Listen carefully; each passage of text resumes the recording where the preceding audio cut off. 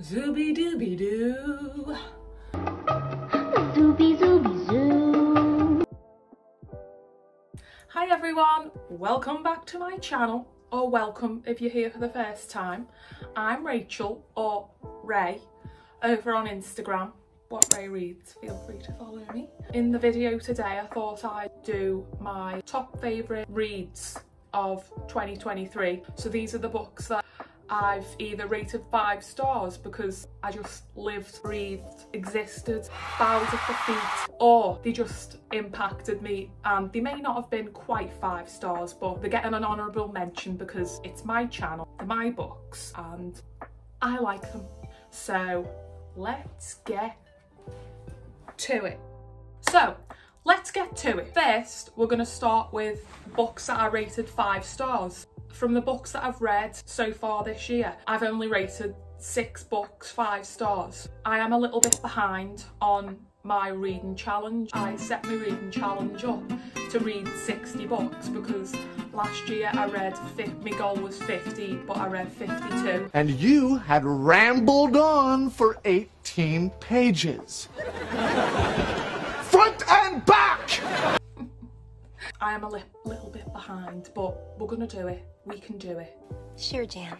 The first book of the year that I actually read, which was a bit of a leap for me because I don't usually read fantasy, but this one blew my socks off.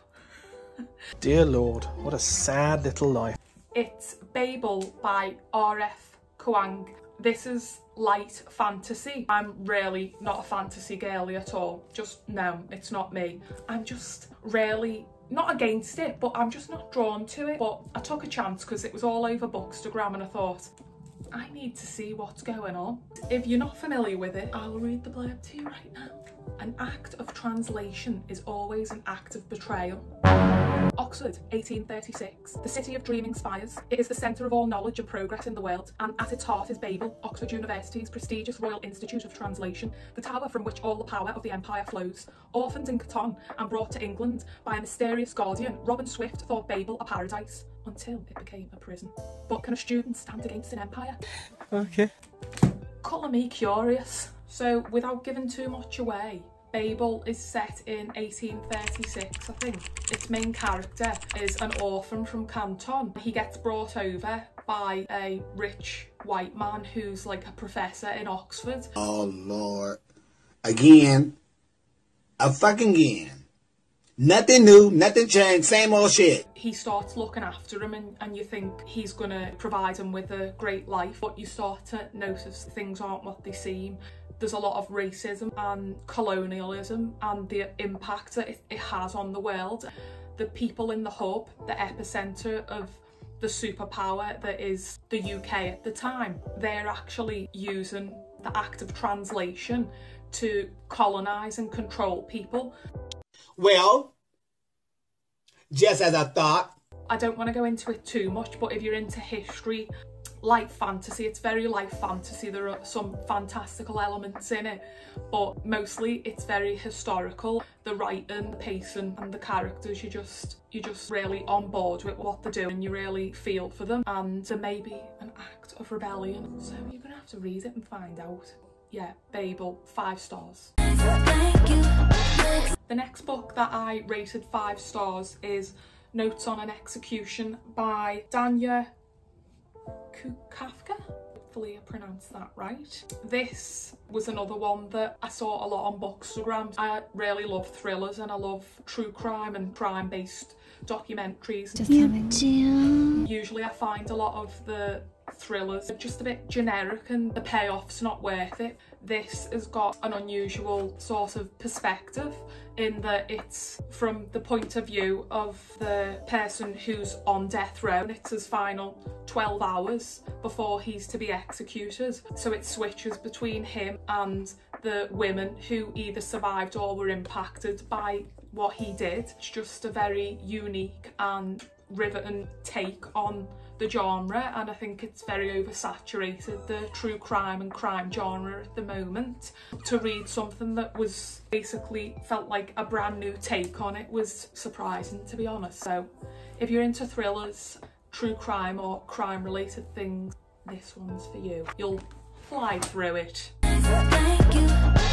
The next book I gave five stars is Wordslut by Amanda Montell. This is the second book that I've read by Amanda Montell. I read Cultish. That's about the language of fanaticism and cults. Um, Amanda Montell's got a really funny, engaging way of writing that makes it enjoyable to read lots of like factual information, which is what she does in this. This is the history. It says a feminist guide to taking back the English language. She's basically talking about how certain words and phrases that are used against women, derogatory or LGBT communities, just lots of gender-based language. She goes through the history and the linguistic st stylings of it. It's just really interesting and found myself lolling. I have to laugh.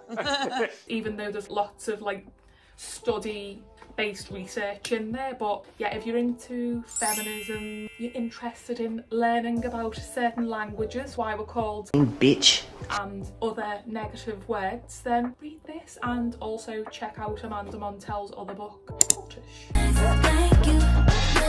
The next book that I rated five stars is probably the last book I rated five stars, which is Claire Keegan's Small Things Like These. I haven't read any of Claire Keegan's work before, but I watched Oppenheimer with Cillian Murphy and he said in an interview that he was going to be in the adaptation of this book. So I got this and Foster and I read them both like back to back, like in the same week. They're only short. I loved Foster. This one has more of like a classic feel to it. I think in the future this might be considered a classic the way we consider 1984 and the bell jar, things like that. So it's set in Ireland in 1985. I'll just read you the blurb. You're joking. Not another one? Oh, for God's sake, I can't honestly, I can't stand this. It is 1985 in an Irish town. During the weeks leading up to Christmas, Bill Furlong, a coal and timber merchant, faces his busiest season. As he goes round the houses making deliveries, he feels the past rising up to meet him and encounters the complicit silences of a small community controlled by the church. Honey, you've got a big storm coming. Obviously, this is set in Ireland in the mid 80s. It deals with what are they called? Magdalene laundries. Let me just look that up.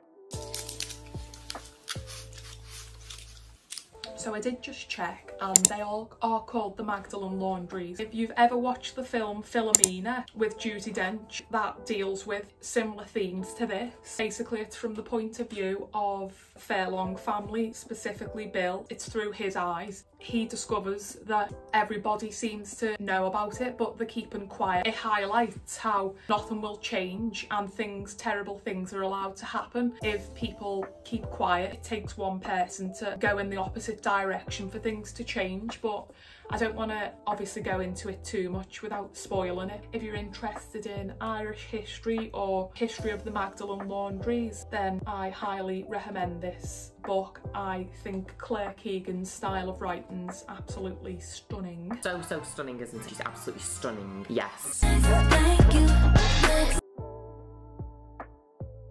Last book that I rated five stars Actually, no, that's not the truth. is Chanel Miller's Know My Name. You're probably familiar with the Stanford essay. I'm not going to say the full word because I'm pretty sure YouTube flags videos that say certain words because God forbid women talk about certain stories and men.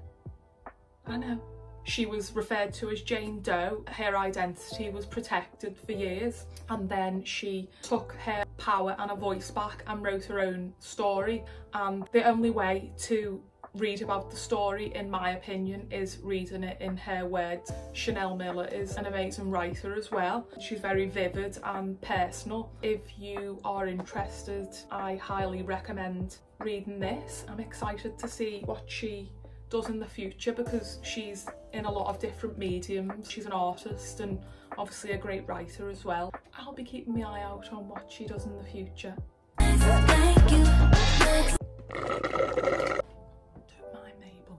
Don't mind Mabel. If you hear any whining off camera, that's our other dog, Milo, who is quite the brat when he's not getting attention. I would like your undivided attention, please. So we need to get through these books because, you know, she's got things to do. You do. The next book that I rated five stars is a recent read that I thrifted on Vinted. It's called Being Lolita, a memoir by Alisson Wood.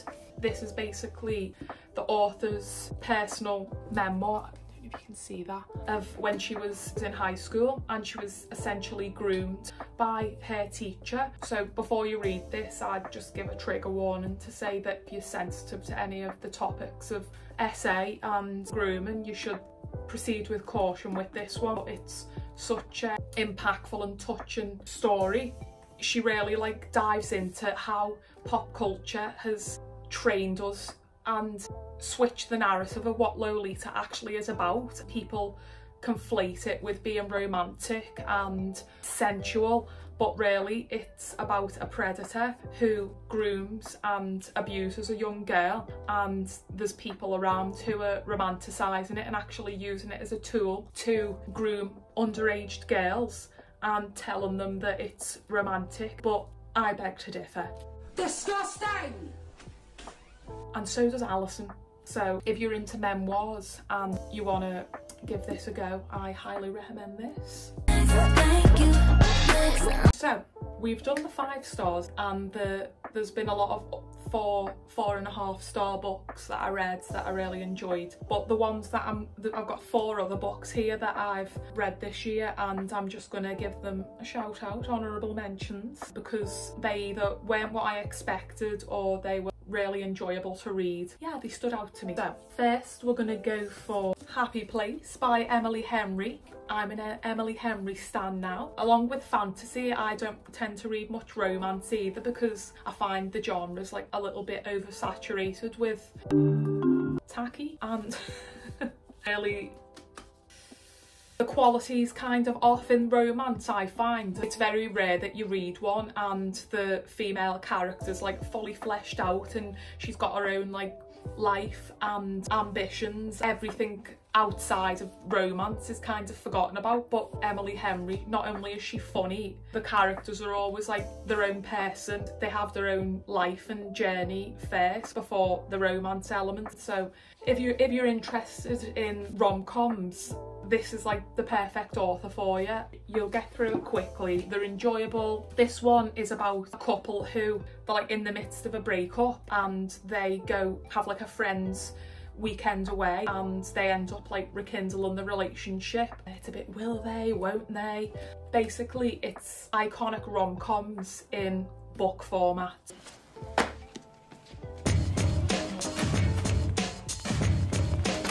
So get on to this. The next book and author, because I've discovered one of my new favourite authors. Not joking, bitch! Big Swiss by Jen Beagin or Beagin. First of all, can we just appreciate how fabulous this cover is? Oh, stunning. Yeah. Since reading this, I read her other book, Pretend I'm Dead, and I ordered her book after that, which is called Vacuum in the Dark. Anyway, if you're after unhinged female girly boss queen... Are you not embarrassed? This is really embarrassing. No, I'm joking. if you're after like unusual female character who does certainly questionable things. Read this one, it's entertaining, it's fresh, weird, there's dogs in it as well. It's about sex therapists who gets someone to transcribe as sessions. The person who's the transcriber, Greta, she becomes obsessed with one of his clients and she befriends her, crosses so many boundaries and becomes obsessed with the client. Weird relationship ensues, bizarre, unusual characters and they are apparently adapting this for HBO into a mini-series with Scouse Queen Jodie Comer. So if you're a fan of Jodie Comer, this author or unhinged female girlies, give Big Swiss a go. Another honourable mention is another RF Kuang. It's actually Rebecca. We've got a full name on here, which I learnt is because female authors don't sell well in fantasy. We're not here for that. No. Did I stutter?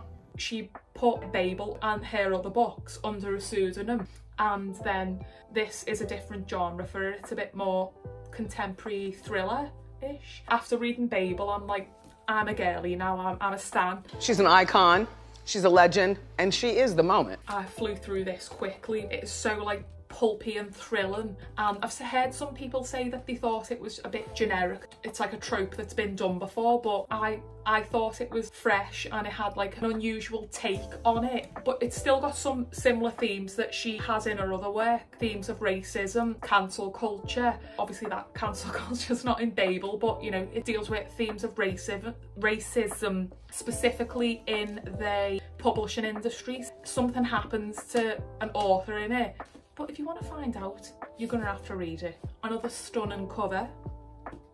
Great read. And finally, The Rachel Incident.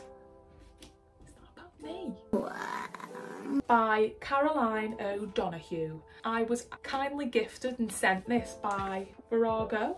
So thanks for that, Virago Press. I spotted this in the bookshop and I was like, hmm, that seems interesting and not just because my name's in the title. Spelt incorrectly, I have an extra A in there, but I read her other book and loved it years and years ago. It's called Promising Young Woman, not the film, it's got the same title, but check that film out, Prom Promising Young Woman with Carey Mulligan. What a film. And the book by Caroline O'Donoghue but this one is set in Cork in Ireland. It's basically about just it's, it's a bit coming of age being in your early 20s and having a job and trying to figure things out, leaving university, living with your friends, relationships, friendships, breakdown, affairs. Okay, work. And there's like elements of privilege in it as well, a more bourgeois group of people in the Cork area, the artists and the professors. The main character, Rachel's kind of caught in between. So is her friend. What's her friend's name? I've kind of forgotten his name. James.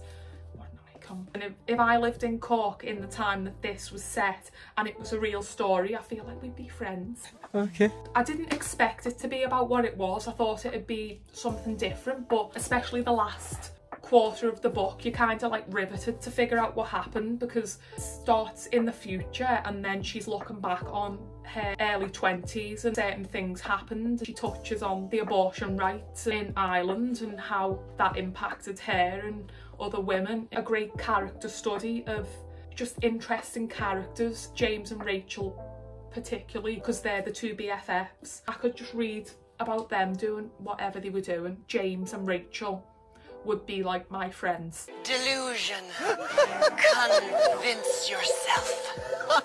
It's like, James, Rachel. what are they like? I just thought this was a retail good time. If you want a contemporary book by a female author with interesting characters, an interesting story, Did I say interesting anymore? So let me know if you liked any of the books that I spoke about in the video. If you've got any book suggestions that are similar to the ones I spoke about that you think I might like, comment below and maybe I can check them out. I can't get enough suggestions, obviously. So yeah, I'm hoping to make more videos. Maybe I'll try and make one once a week. So keep checking back. Subscribe if you haven't. Like the video, share it, be my friend, and I'll see you in the next video. So, bye! Mom! You know, instead of mom.